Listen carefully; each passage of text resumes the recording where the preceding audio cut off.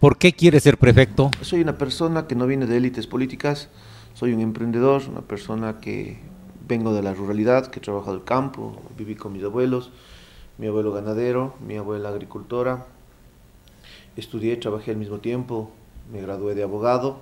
Actualmente tengo algunos negocios que, que he podido empezarlos de cero y sé y entiendo pues solamente quienes hemos estado en los zapatos de la gente podríamos entender la situación y dinamizar la economía que es lo que necesitamos. ¿Cuáles son sus propuestas principales? Mi principal propuesta, como digo, y el eje principal es la producción y para llegar a la producción obviamente tenemos que iniciar un proceso de acuerdo a las competencias que tenemos como prefectura y estas son la vialidad, que es la columna vertebral de la producción, lo que es el riego, nuestro eje principal y realmente mi, mi proyecto emblemático será el iniciar una red vial estratégica asfaltada.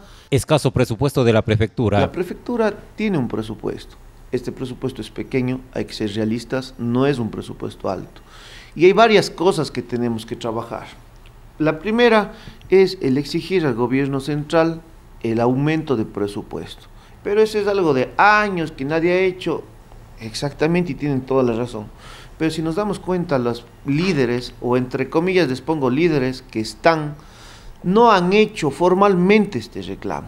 No lo hacen porque tienen rabo de paja, tienen problemas con Contraloría, tienen problemas de corrupción. Somos la tercera provincia, a veces inclusive hasta la segunda provincia, en apostar al erario nacional. Somos buenos pagadores de nuestros tributos, pero eso sí, somos los décimos, octavos, novenos en recibir. ¿Por qué no avanzan los proyectos? No han existido verdaderos proyectos que sean presentados. Existen muchos créditos no reembolsables con los que podemos trabajar. Eh, yo ya he tenido contacto con embajadas y me han dicho que están encantados de darnos ese apoyo a la agricultura, darnos ese apoyo para riego, tecnificar, porque tenemos que tecnificar. Productividad. La gente está emigrando, está saliendo del país, los campos están botados y nosotros tenemos consumidores y tenemos productores. Como no hay ese nexo, ¿qué pasa? Tenemos que traer los productos de otras provincias, por eso es que estamos en los supermercados y en los mercados con productos de otras provincias y no apoyamos a nuestros productores.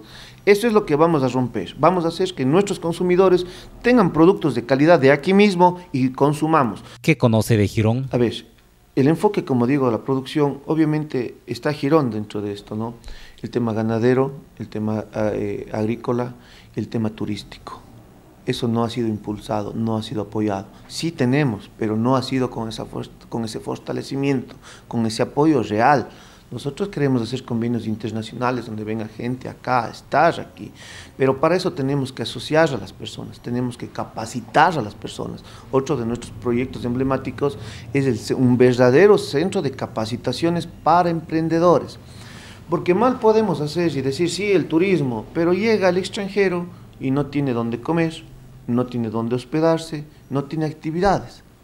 Entonces, eso tenemos que dar. Y... Lacta Suay. A ver, Lacta Suay se encuentra ya constituida, realmente es de economía mixta, como usted lo dice, existe capital eh, privado. Y el mal manejo en su momento, cuando era Lac Jubones, ¿sí? hizo que esta empresa no tenga el éxito que debió tener. Ahora, al momento ya existe Lacta Suay. Y la Suay va a abarcar toda la provincia de la Suay. Vamos a tener el referente de estar aquí en tierras gironejas, pero vamos a ampliar.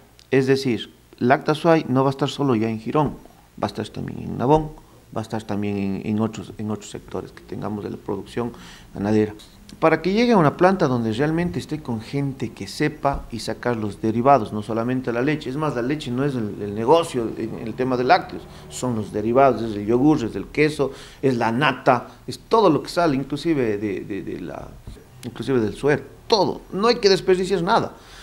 En un mes tiene que estar auditadas todas estas empresas.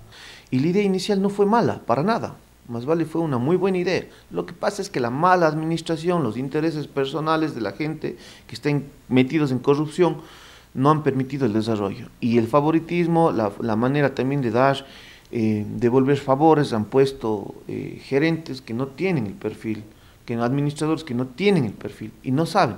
Claro, llevan sus buenos sueldos, pero a la larga no cumplieron lo que necesitamos que cumplan proyecciones. Pudiendo, ¿no? Realmente tenemos una provincia que ha estado súper mal administrada y no en esto, sino unos cuantos años, unos 25 años. Entonces, solucionar no va a ser fácil, pero la unión, la fuerza, la minga, vamos a trabajar en mingas, personalmente estaré y lograremos sacar esta provincia. Quiero que en cuatro años seamos un referente ya nacional y abrir ya y tener una visión inclusive a la exportación en un siguiente periodo, porque sé que no va a ser fácil, no va a ser tan rápido. El Azuay no exporta ahorita nada, eh, por ejemplo, Cotopaxi exporta hasta el brócoli en este momento. Entonces ya tener ese enfoque a unos años a empezar a exportar.